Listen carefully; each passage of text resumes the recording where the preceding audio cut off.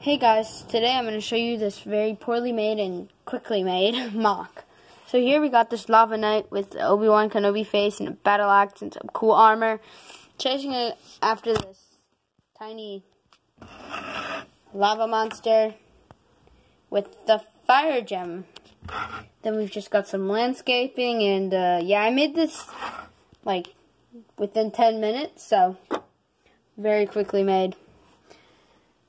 Oh yeah, and underneath, look at this structuring.